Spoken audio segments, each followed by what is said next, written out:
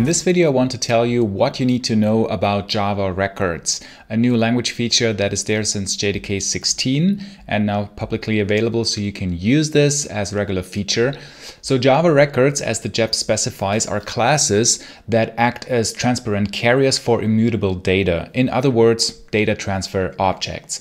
What we have or what we can specify in a Java code, for example, is to have a hello world class that has something like a, a private string hello world or something like a greeting and a uh, recipient, which then, as you probably have specified many times, we could have as sort of um, objects as plain old Java object that specifies getters and setters hashcode equals to string and all of these things that you would need, maybe some custom constructors to work with it, just in a very basic way. This is why Java often has been called to be verbose. So this is a lot of stuff that you can define even more so. We can uh, define all the other methods or we use now a new sort of language feature and then says, well, we say instead of public class, we say record and then the um, specification is as follows, that we define the fields in this header definition. So sort of like this, hello world, string greeting, string recipient. What this does, it already, well, generates a lot of things for us. So then we have, well, a class that has two fields, two um, private final fields and accessor methods and two toString and hashcode and equals. So what we need here. For example, we could say new hello world, and then we say, for example, hello world.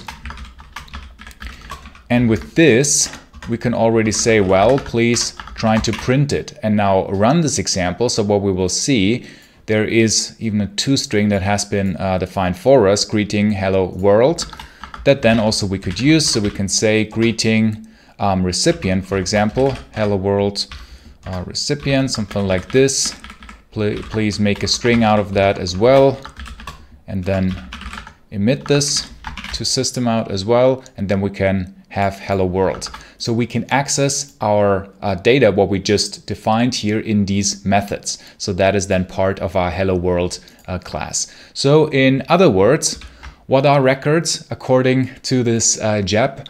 Records are classes that extend um, Java lang record all records are implicitly final, so they can't be abstra abstract.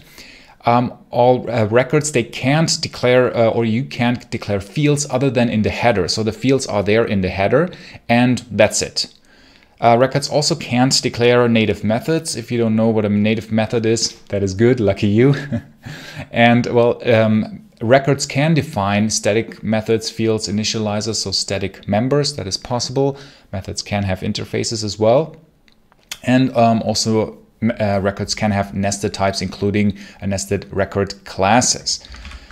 And also, all these records will have, as we just uh, briefly have seen, uh, private final fields for all of these things that we specify in the header. They have public accessor methods. We just use them in our code. And they have a canonical constructor. So just a constructor in the same signature as this header with all these fields and uh, while equals hashcode toString. And also you have some more possibilities to then just define. So for example, you can define uh, methods here, of course, your own methods that you would like um, to have. So for example, um, hello world, you can say um, something like public string greet and then whether or not that makes sense, you could say, well, just give me the a greeting. You could use the field or the method, uh, doesn't really matter here, and say, okay, give uh, me this greeting plus the recipient. So then we could change that to uh, this method greet and invoke this. And then of course this method will be invoked uh, with this data accordingly. So of course that works.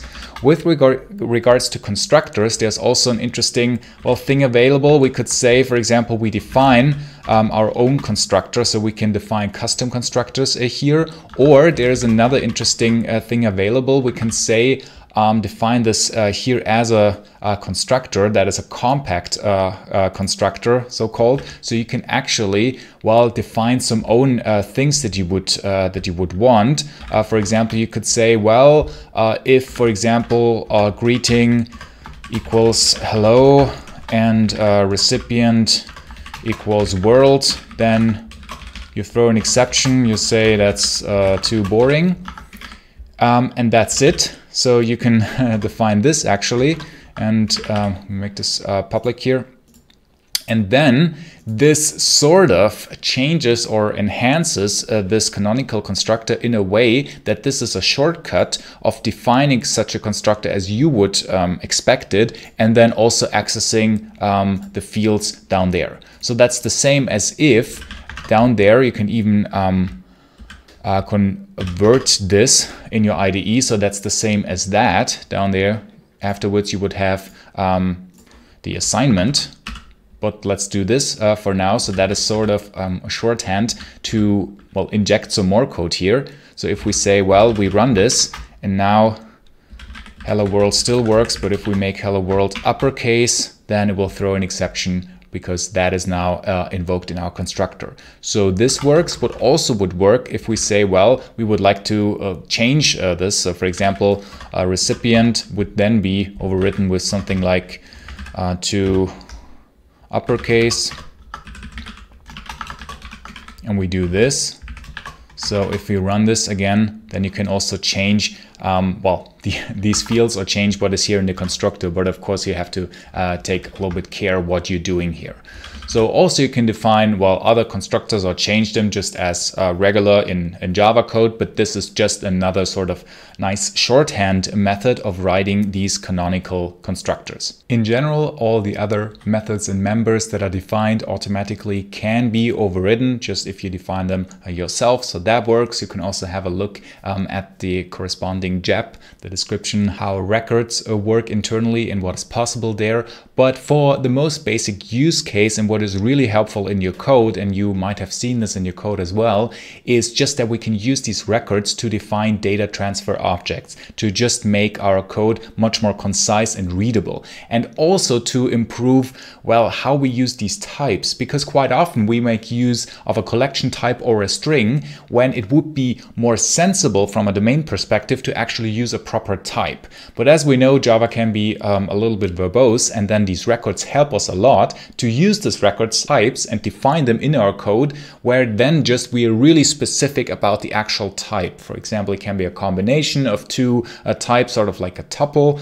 For these records are just perfect. So you can uh, try this out yourself if you use JDK 16 or a newer uh, Java version, and I really encourage you to do so. And if this was helpful and fun to watch, I would really appreciate a like. And as always, thanks for watching. Bye.